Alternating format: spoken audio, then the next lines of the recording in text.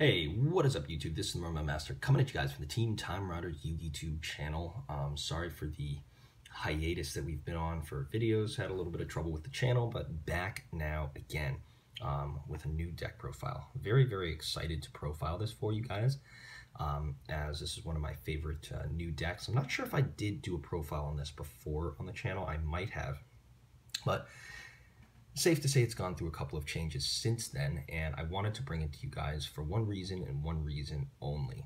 That I believe that this deck right here, Dark Lords, is the greatest possible deck to teach any one of your friends how to get into competitive Yu-Gi-Oh! Now, what do I mean by that? Well, I'll explain in a little bit. But first things first, I'm going to go through the deck profile and show you things, and maybe we'll see if we can do a follow-up video going into more details. So, start things out, Dark Lord deck would not be complete without three copies of Dark Lord Ixchel. Um, she's one of the newer Dark Lord cards and one of the best ones because you can discard her and any other Dark Lord card, not just monster, but card, um, to draw two cards from your deck. Very, very great for deck thinning. And then the effect that she shares in common with other Dark Lord cards is the fact that she has the ability, by paying a thousand life points, to allow you to shuffle any Dark Lord um, spell or trap, or a spell or trap that has Dark Lord in its name, shuffle it back into the deck, and then activate its effect uh, without paying the cost. So that's really, really good, and you can do it during either player's turn. So it really allows you to get the drop on your opponent. Um, and or you know you could get one or two uses out of multiple of these spells and traps and then they shuffle back in the deck so you can get them again next card we've got is one of the older ones three copies of dark lord superbia superbia is the only one of the old prize card dark lords that i run in here and the only one you should run um, basically its effect allows you when it's special summons the grave to target any fairy in graveyard and special summon. It doesn't even have to be a Dark Lord, could be any fairy. And you'll see who we're running in here to do that, but very, very good. Uh, do note that this card can miss timing, and I'll go into a little bit more detail about that later. Now we're running three Dark Lord Nasten. Very, very simple, has the same uh, effect as Dark Lord Ixchel for the pay a thousand and shuffle back but he's kind of like an Abyss Megalo. Discard any two Dark Lords uh, cards, uh, including monsters, spells, or traps, and he's a special summon on the field. Very, very great for when you need a body on the board. And if you dark uh, if you discard a Dark Lord spell or trap, then you can special summon him to the field and then activate the effect of that um, spell or trap using Nasten's ability and get whatever you need out of the deck or um, special summon like whatever else you want. So he's a very, very big play starter and a very good way to unbrick um, hands where you might have bricks. Now, a couple of one-ofs in here. Uh, one copy of Dark Lord Amdusc, um, uh, similar to the new ones as well, has that effect, um, but discard him and any other Dark Lord card to add any Dark Lord card back to your hand. Um, very good card. Uh, one copy of Dark Lord Tezcatlipoca. Uh, this card is a kind of, I want to call it a uh, hand trap of sorts that protects your Dark Lord monsters from destruction. I'm just running him at one in here, uh, just as a you know a test basis. A lot of people don't really like him too much, but I think he's really good, so definitely got to have him in here. And finally, Dark Lord Morningstar, your going second uh, beat stick. Very, very strong card. Um, protection from uh, your opponent's effects um, milling Dark Lord cards to the graveyard, and then his main ability, um, special summoning Dark Lords equal to the number of monsters your opponent controls. Um, very, very good card, and um, allows you to do an OTK with the next card, which is one of my older Dark Lords, and that is Dark Lord Zerato. And Dark Lord Zerato is one of my favorites because, while he wasn't really good before, he's great now. Level 8 makes him great for trade-in, and he's also amazing for discarding a dark monster that you need in your graveyard, blowing up your opponent's board, and then if you have Morningstar or any other things on your field, um, you can continue to activate those um, effects. So it's like very, very interesting. And the best benefit of it is he's not even once per turn. So if you need to destroy something your opponent controls, like, you know, you have the ability to do so. Last card we're running in here is that fairy that I was talking about, two copies of Archlord Kristya or Archlord Kristya. Um, great for special summoning out with Superbia or by its own effect, and great for trade-in.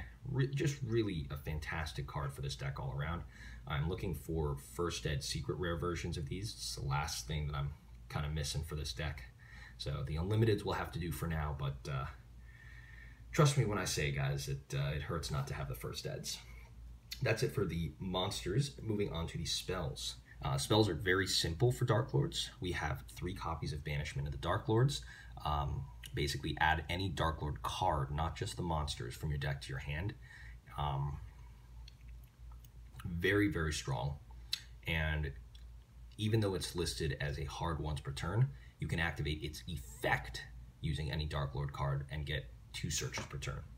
The same is true if that is your Rota of the deck with Dark Lord Contact, your monster Reborn. Um, you can activate it two times a turn.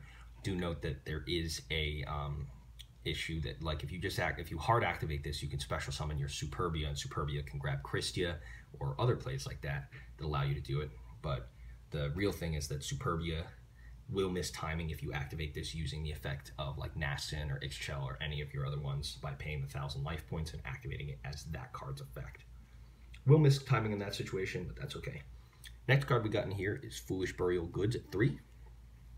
I personally run this card because I feel like it's a fantastic way to just get your Dark Lord stuff to your graveyard. Um, get it there as fast as possible, like your spells and traps and stuff like that, and then you can activate the effects to get searches or pop things or steal monsters or get pluses or something like that.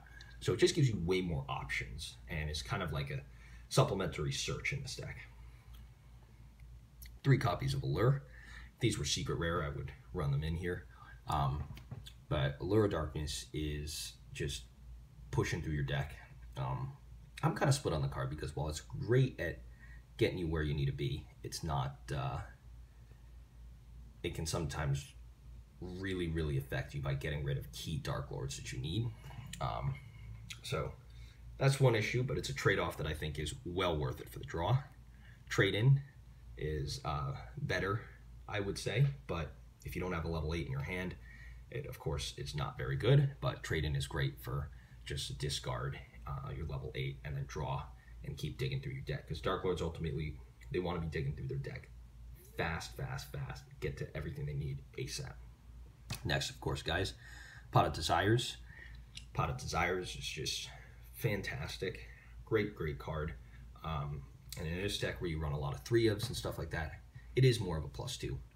And like I say, like, you know, there's some decks that are not, but like this is definitely one of the ones where I feel like it's uh, warranted. Now we have My Body as a shield. Uh, one of the only things this deck can't stop is um, non-targeting destruction, so that's just to you know, keep everything going. And then finally a Monster Reborn, because you gotta have that in there. Now, moving on to the trap cards, pretty simple lineup here. Uh, two copies of Dark Lord Rebellion. Uh, basically, this card allows you, by discarding a Dark Lord monster, to target one card on the field and destroy it.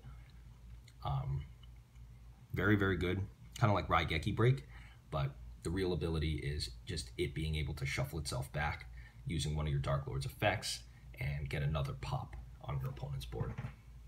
Next card is Dark Lord Enchantment. Uh, basically the same, discard a Dark Lord, except you get to steal something your opponent controls.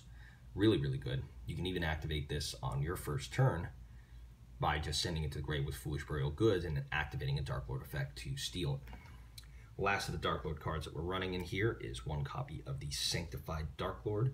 Sanctified Dark Lord is just your monster negation, and it also gains you back life points, which is great because you have the issues, of course, with using up too much life for the effects of your um, other monsters. And finally, we've got Eradicator Epidemic Virus. Very, very good card, as you guys are well aware. Usually you call out spells, instantly your opponent sends all the stuff to the graveyard. Very, very effective in the right circumstances. And I feel it's good in here at one. Um, now that it's back, I thought about bumping up the number, but honestly, guys, like I really do like the number at one. Of course, also looking for a secret rare of E-Virus, one or more, but as you guys know, those are pretty tough to come by. So guys, that's the Dark Lord deck profile. I hope you enjoyed it. If you did, please remember to rate, comment, subscribe on the Team Time Riders Yugi Tube channel, and I'll be back very soon with the next video. See you guys.